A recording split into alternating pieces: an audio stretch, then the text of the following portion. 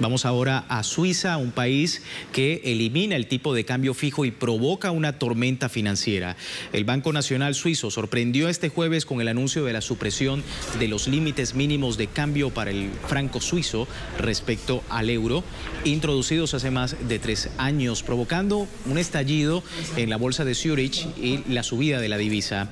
Tras estas medidas, la moneda única europea perdía el 29% de su valor con el franco suizo. El Banco Central Helvéticos justificó esta decisión por las disparidades entre las políticas monetarias que se han traducido en el debilitamiento del euro ante el dólar y como consecuencia de la depreciación del franco suizo ante la divisa estadounidense.